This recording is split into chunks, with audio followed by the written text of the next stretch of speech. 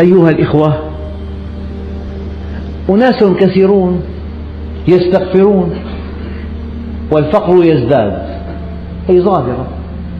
لو أنك حدثت من حولك بمضمون هذه الخطبة حتما سوف يقول لك أحدهم لا لا أنا أستغفره ليلا ونهارا والأمور تزداد تعقيدا بماذا تجيبه؟ قال أبو علي التنوخي في كتاب الفرج بعد الشدة. شكى أعرابي إلى علي بن أبي طالب كرم الله وجهه شدة لحقته وضيقا في المال وكثرة في العيال فقال له عليك بالاستغفار. فإن الله عز وجل يقول استغفروا ربكم إنه كان غفارا الآيات. فعاد الأعرابي إليه. فقال يا أمير المؤمنين إني قد استغفرت الله كثيرا وما أرى فرجا مما أنا فيه. فقال له دققوا لعلك لا تحسن الاستغفار. قال علمني. قال أخلص نيتك وأطع ربك. أخواننا الكرام وصفة نبوية. نبوية في الصحاح إذا كان ثلث الليل الأخير قبل الفجر نزل ربكم إلى السماء الدنيا فيقول هل من تائب فأتوب عليه؟ هل من مستغفر فأغفر له؟ هل من سائل فأعطيه؟ هل من طالب حاجة فأقضيها له؟ الله ينتظرك. في وقت السحر قبيل أذان الفجر. هل من تائب فأتوب عليه؟ هل من مستغفر فأغفر له؟ هل من سائل فأعطيه؟ هل من طالب حاجة فأقضيها له؟ حتى ينفجر الفجر. من هو الكسول؟ من هو العاجز؟ من هو الأحمق؟ من هو الغبي؟ الذي يتكاسل أن يطلب من خالق السماوات والأرض. والله ينتظرك ينتظرك. أنت في الصلاة تقول سمع الله لمن حمده هو يسمعك الآن اطلب منه. إن الله يحب الملحين بالدعاء. يحب الملحين بالدعاء. إن الله يحب من عبده أن يسأله. شسع نعله إذا انقطع. إن الله يحب من عبده أن يسأله ملح طعامه. إن الله يحب من عبده أن يسأله حاجته كلها. الأمر بيده. على كل شيء قدير. جسمك بيده. صحتك بيده. أهلك بيده. أولادك بيده. من هم فوقك بيده.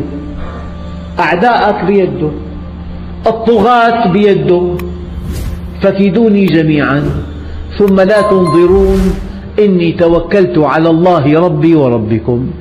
ما من دابة إلا هو آخذ بناصيتها. إن ربي على صراط مستقيم. الدعاء سلاح المؤمن. قل ما يعبأ بكم ربي لولا دعاؤكم. ما معنى أن تدعوه؟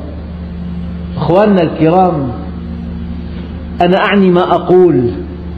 المسلمون مقصرون في الدعاء في دعاء شكلي في دعاء باللسان في دعاء والاعتماد على غير الله في دعاء مع الشرك وما يؤمن أكثرهم بالله إلا وهم مشركون في دعاء مع الخوف من غير الله في دعاء والأمل متعلق بغير الله. كل هذه الأدعية لا قيمة لها ولا وزن لها ولا يستجاب لها.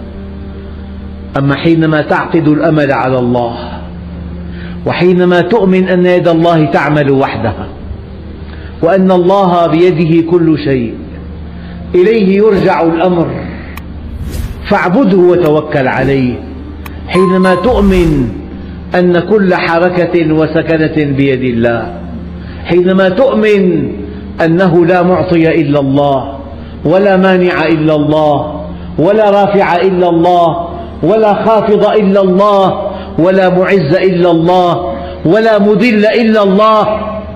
حينما تؤمن أن كل الأصنام التي في الأرض أن كل الطغاة في الأرض لا يستطيعون فعل شيء إلا إذا سمح الله. حينما تجعل علاقتك كلها بالله حينما تعقد الأمل على الله حينما تتوكل على الله حينما لا ترى يدا تعمل في الكون إلا الله. حينما توحد يصح دعاؤك. وإذا صح دعاؤك استجاب الله لك فقويت عقيدتك. قويت عقيدتك. إياك أن تدعو الله وأنت معتمد على زيد أو عبيد. إياك أن تدعو الله وأنت ترى أن خلاصك بيد زيد أو عبيد. أو أن زيدا أو عبيدا إن شاء رفعك وإن شاء خفضك. فتقول يا رب دعاء ما له معنى اطلاقا. أنا أغنى الأغنياء عن الشرك. أنا أغنى الأغنياء عن الشرك. إن الله سبحانه وتعالى لا يقبل العمل المشترك ولا يقبل على القلب المشترك. ينبغي أن يرى الله قلبك خاليا إلا من الاعتقاد به. ألا يرى في قلبك شريكا له. عندئذ لا يقبل عليك. ألا يراك معتمدا على غيره. ألا يراك تخاف من غيره. التوحيد إخواننا التوحيد أساس الدعاء.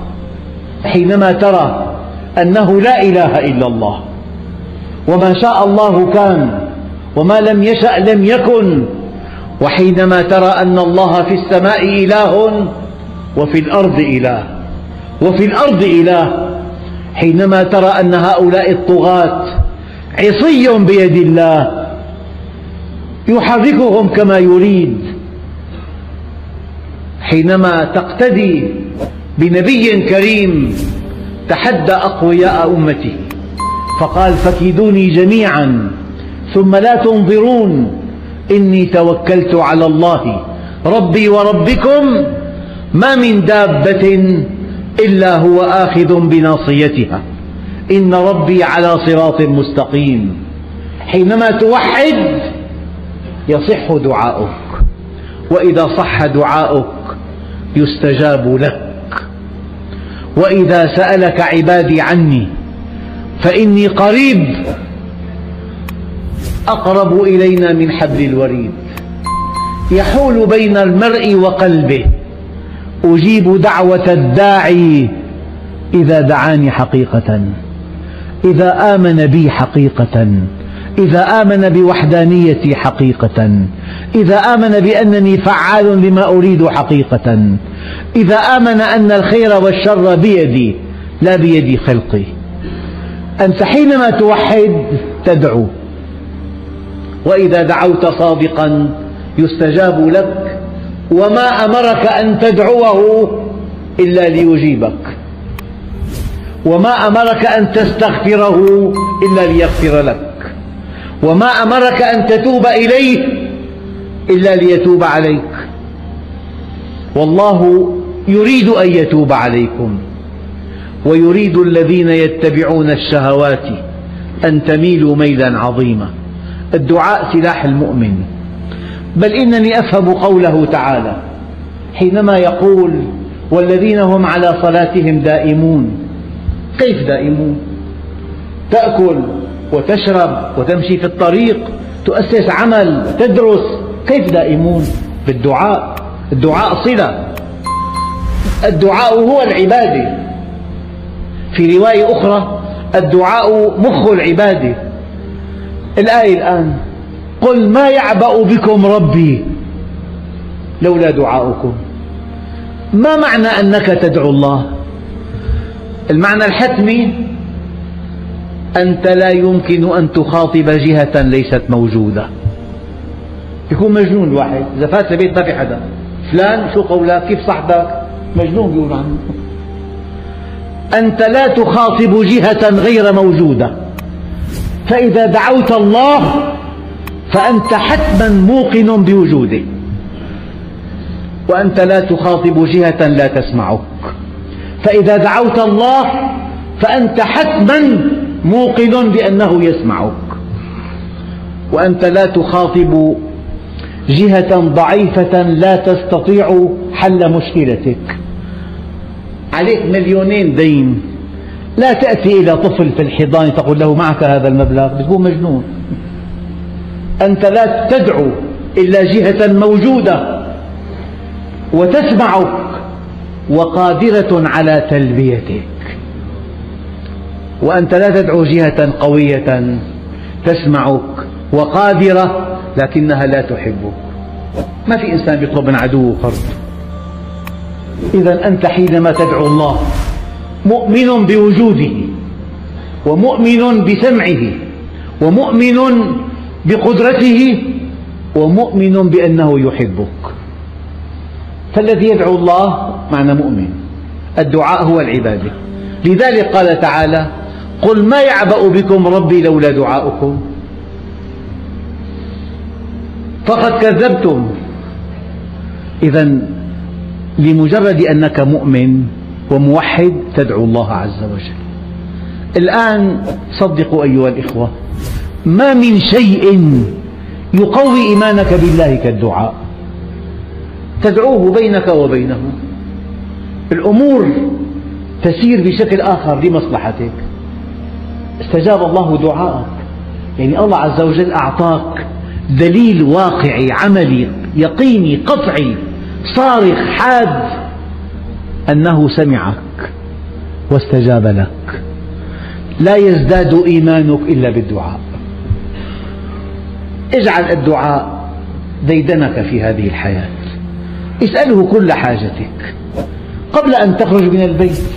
اللهم إني أعوذ بك من أن أضل أو أضل لا تنسى مشاركة الفيديو حتى يستفيد كل مسلم مع قناة إعرف دينك.